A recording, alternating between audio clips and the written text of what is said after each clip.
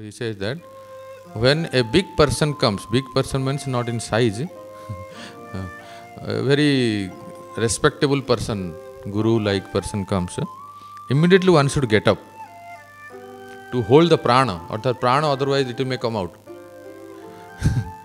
it is said that when the, any senior devotee comes, we should get up.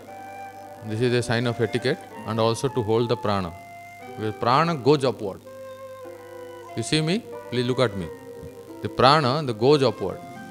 If you don't uh, get up to, re to receive that uh, guest, the prana may come out. It is said like that. So, to hold the prana, also we get up when the sannyasi or any senior devotee comes and then we offer pranam to them.